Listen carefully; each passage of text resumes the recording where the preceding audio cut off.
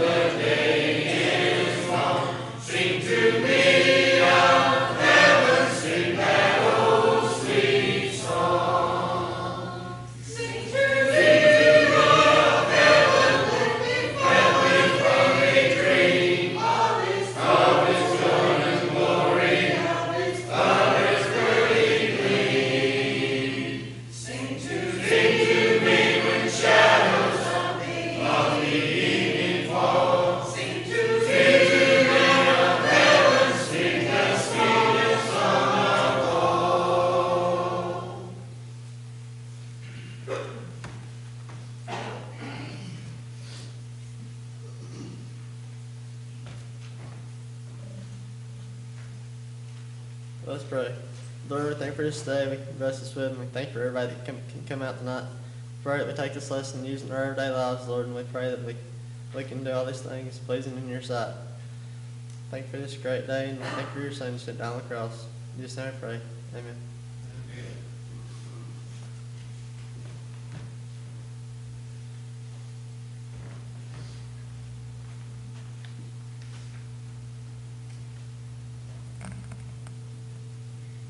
Seek ye first.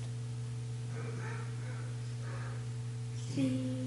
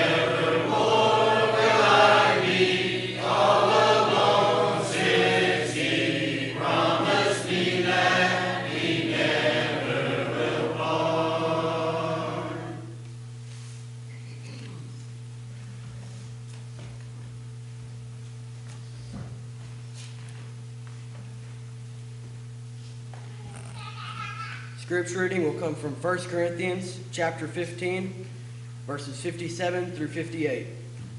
1 Corinthians 15, 57 to 58. But thanks be to God, who gives us the glory through our Lord Jesus Christ.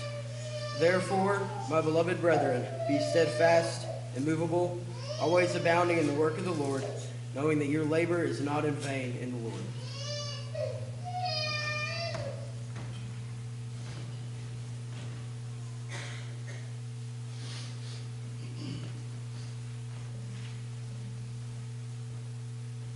I'll be leading number 50, Amazing Grace.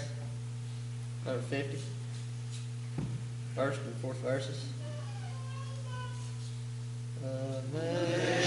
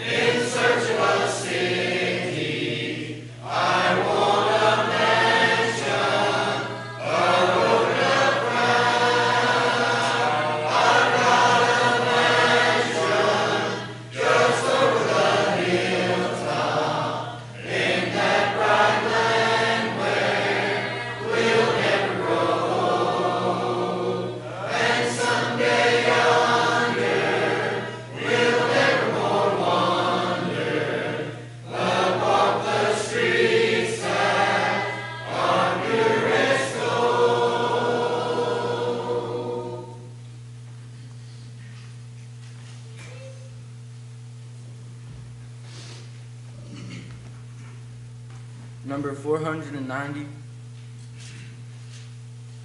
Number 490, sing the first and fifth verse. to Canaan, Canaan,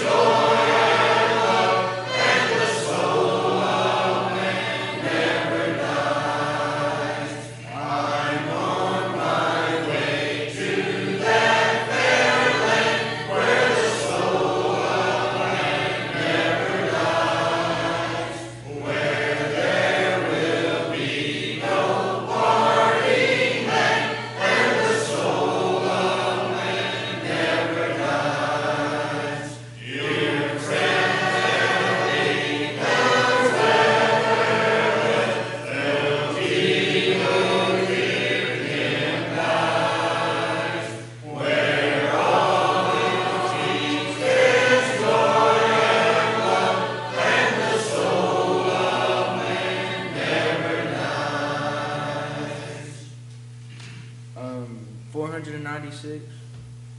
it's in the first and fourth verse of 496. This one.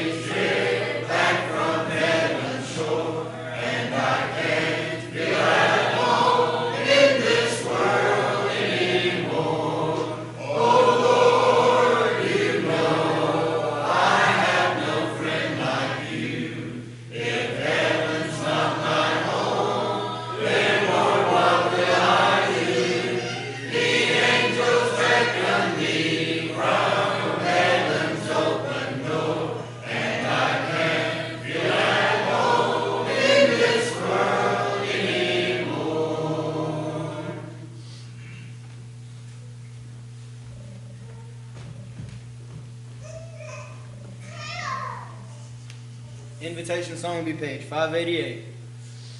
Page 588. Song before the message be page 525. First and third standard of 525. If you would like to at this time, you may stand. Go, let us sing. If for the price we have striven, after our labors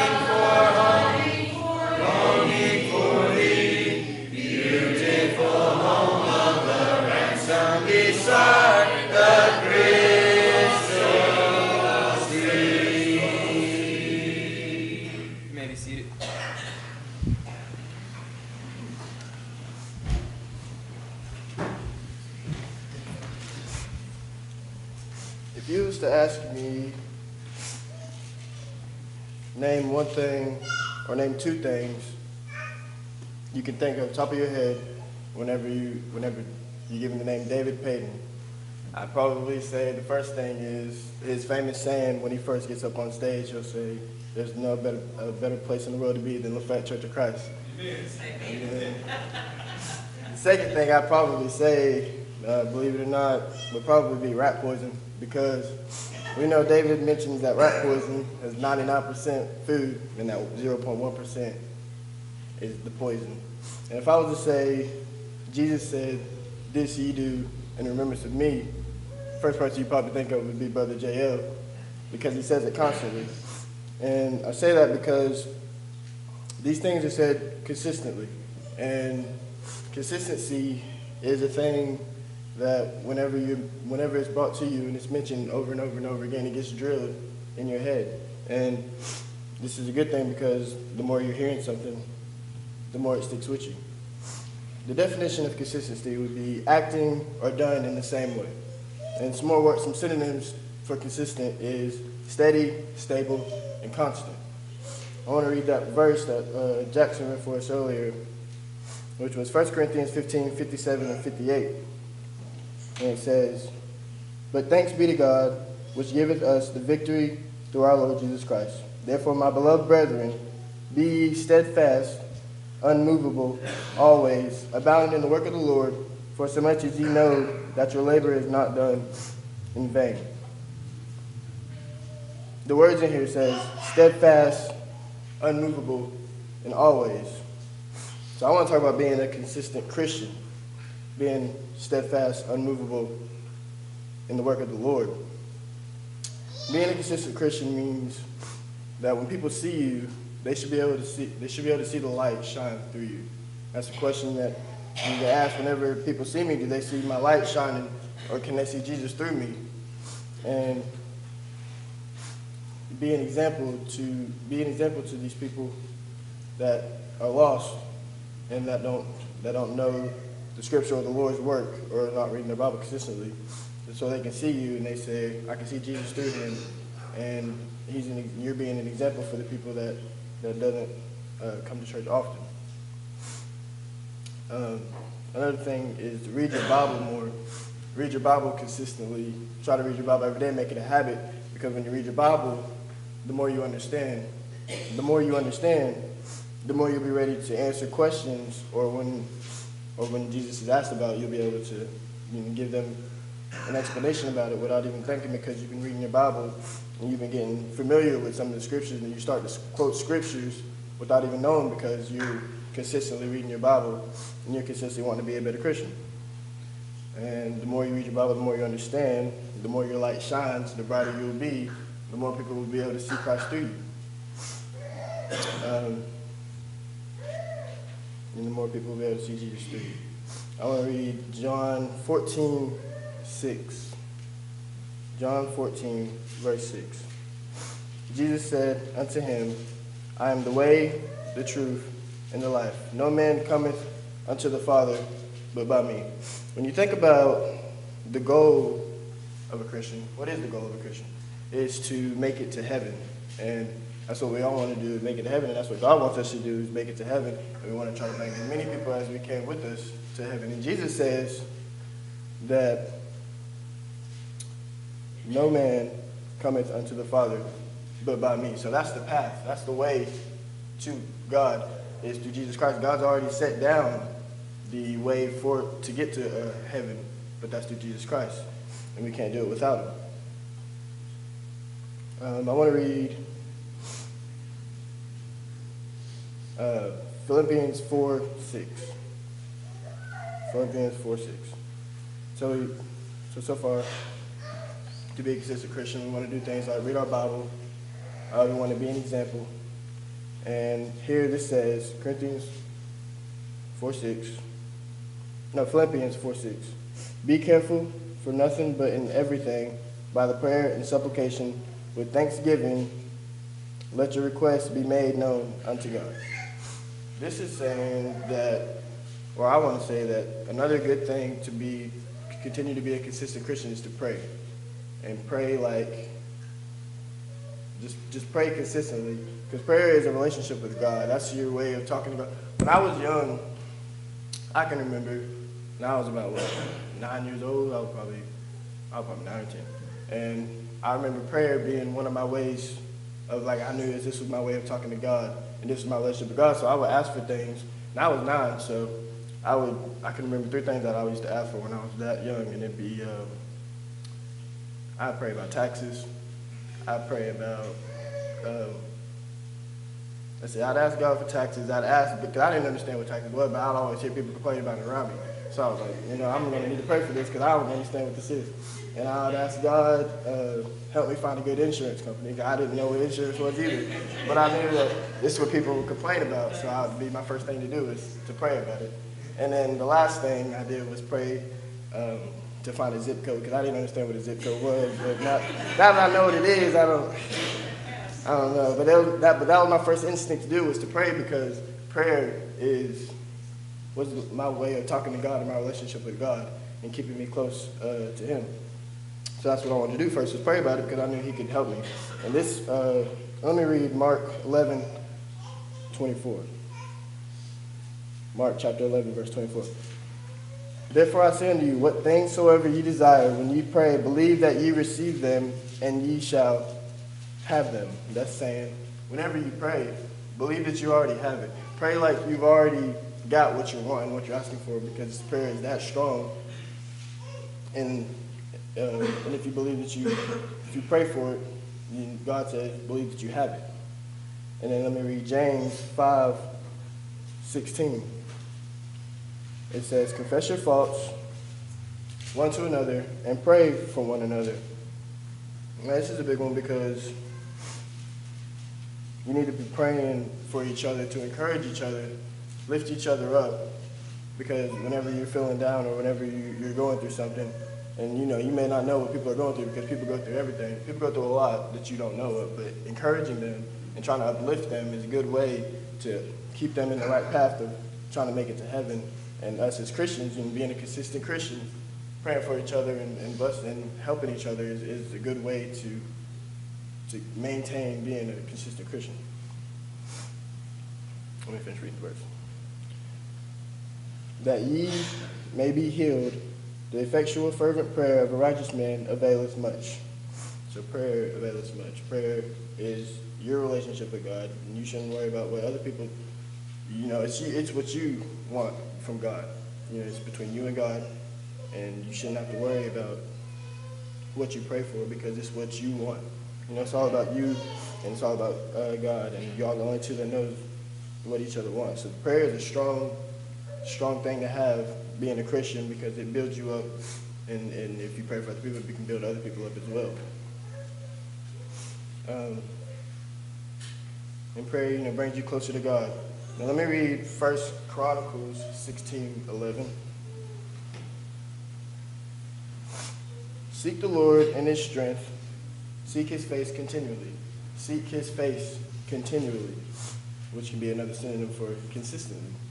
So you want to seek, so whenever you do something, you want to ask yourself, am I doing this for God? Or am I doing this in a way that God would want me to do it? And, and when I'm, whatever you're about to do, are you putting God first, no matter what you do? That's something that you need to, that's always a good reminder to do is keep God first in everything you do, especially if you want to be a consistent Christian. You want your light to shine so people can see it, see you, see Christ through you. So we got to remember to do that. And strength, and, and whenever you pray, ask for whatever you want. If you want to have a bigger faith in God, pray for more faith. If you want more strength whenever you're struggling or you feel down, pray for more strength or whatever. It's whatever you want. Strength comes from God always, and we should look to Him for it always. God loves each and every one of us, and and He wants us to come to heaven, and He wants us to go to heaven. You know, He laid down that path, which is Jesus Christ. You cannot get to heaven without knowing Jesus Christ. And the goal, the goal of a Christian is to get to heaven, and we want to bring as many people as we can to heaven with us. And we all need to encourage one another because whenever, you know, encouragement is always a good thing to have because whenever you feel like you're alone and you're by yourself, you're not. God's always with you, first of all. And second of all, you got all these brothers and sisters around you that are here to help you and uplift you and edify you to, to get, uh, reach that goal of getting to heaven. So you're never alone. And if we always keep God first, we're always moving in the right direction. That's, that's always true because that's the reason we're here tonight. That's the reason you come on Sunday morning. That's the reason you come on Wednesday. That's the reason you read your Bible. That's the reason you pray is because you want to make it to heaven. And and this is all trying to get in that right, and this is all going towards the right direction. Um, practice being a consistent Christian. Pray more. Uh, read your Bible more. Ask for faith. Ask for strength. Um, ask for anything that you need. Um, and and you just want to you want to do these things to to keep yourself on the right track. For whenever you're feeling like you're not on the right track or you're feeling like you're struggling or you're going through something you uh, you keep doing these things to encourage yourself. And I really want you to try to pray more to to better your relationship with God. And I want you to uh, to be an example to other Christians, be an influence on eyes that's, uh, that that are watching you that you may not know are watching. Like when I was a kid and I was uh, you know watching all the adults complain about taxes and, and insurance, I was that's what I did. So you never know who's watching. You never know uh, what they see through you. Do they see Jesus through you? Even the little ones, do they see Jesus through you? They, do they see the example that you want them to see whenever they see you? These are questions you, got, you have to ask yourself. Are you a good influence on on people around you and on little ones and on ones that are lost out in the world. Whenever they see you, they see Jesus? Do you, do they, do you make them want to go to church, want to follow God's will and do what He wants you do, what uh, God would want them to do and what you want to do as well? But all these things to become a good Christian. So you, so we want to continue to grow as a Christian and uh, just become the best Christian that we could possibly be. So if you are here tonight and you uh, need encouragement or you want to start or you're already being a good Christian but you want to continue to grow and be a better Christian each and every day, day by day, a consistent Christian, and you need encouragement, you can come right now and together we stand and sing.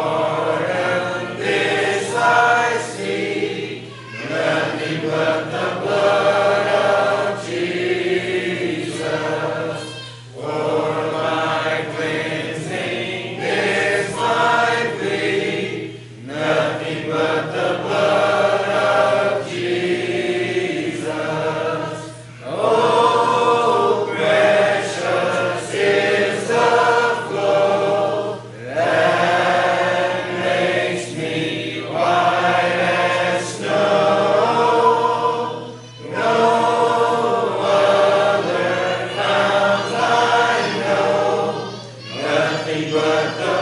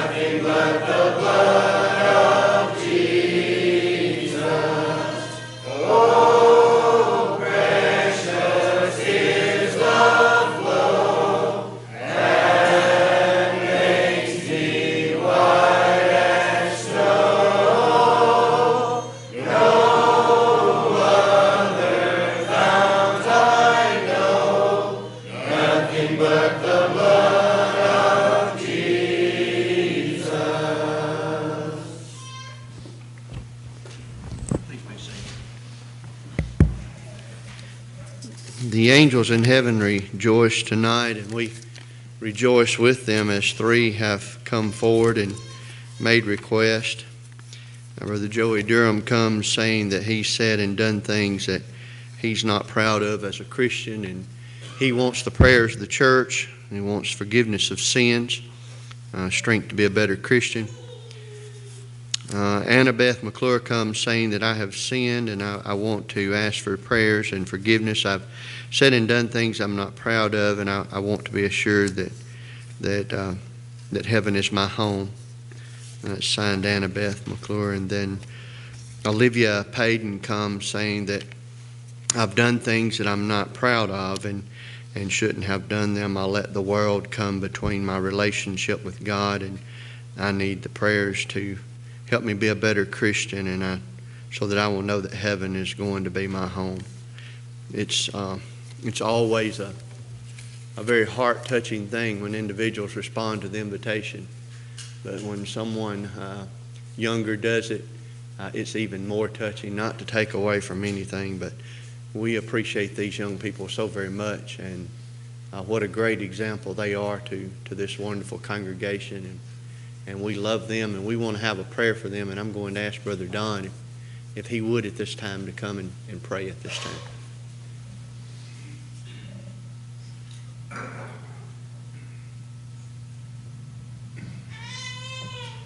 Let's all bow in prayer on behalf of these young, young people. Heavenly Father, we approach your throne of grace this evening on behalf of these three who have had courage in their heart who have had repentance in their heart and have come forward confessing these sins. Father, we're so thankful for them and their good example that they have. Father, we realize that they come forward saying they have sinned and that they have come short of the glory of God. Father, we pray for Brother Joey that uh, the things that he says and does will be better in the future, that he will choose righteousness, that you will bless him and forgive him. Father, we're so thankful for Annabeth. We pray that you will bless her and the things that she's said and that she's done are contrary to your will. We pray, Father, that she'll do them no more, that she will seek the sunlight of your love, and that she'll always walk in your footsteps. Father, we're so uh, thankful for that Olivia has come forward tonight. We pray, Father, that you will bless her, forgive her of her sins and those things that she was not a good example in, or the things that she did or said that uh, were contrary. We pray, Father, that you will hold them against her no more, and that you will help each of these three walk in the pathway of righteousness. Father, bless each and every one of them. Father, we reflect upon our own lives, every one of us in this room, realizing that once we were young and once that we made a lot of mistakes. And Father, we realize that when we came forward, you forgave us. Father, we encourage these young people uh, who have come forward, and we also encourage these young men who have come forward tonight. Let us in this service. We're so thankful, O God, for your example of righteousness and in your Son and in the forgiving power of your Son's blood. So forgive them. We ask it in Christ's name. Amen.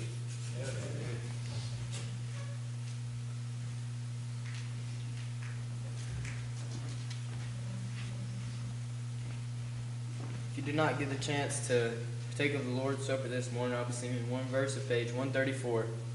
So you may come up and take the Lord's Supper. One verse of page 134. Together, let us sing. Off we come together. Off we sing and pray.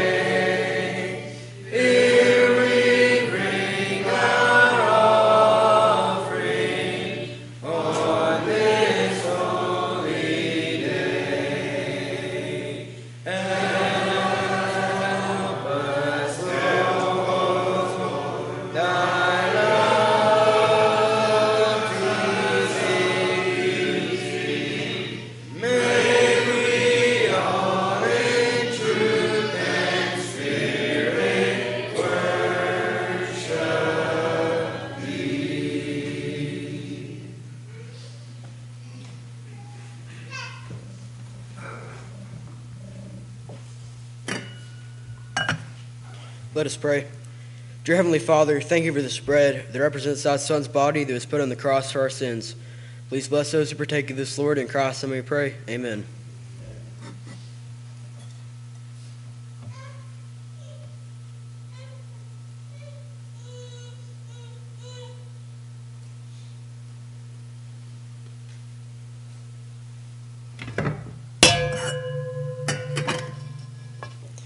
Lord, thank for this cup which represents your Son's blood. Bless it and bless those who partake of it. In Jesus' name we pray. Amen.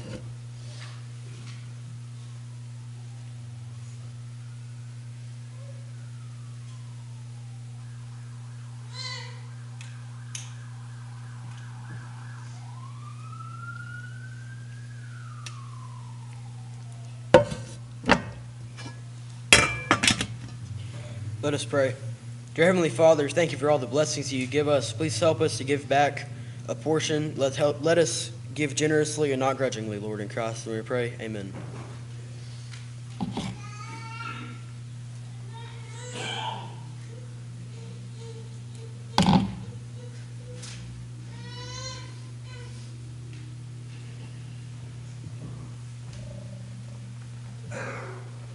Closing song this evening will be page 748. 748.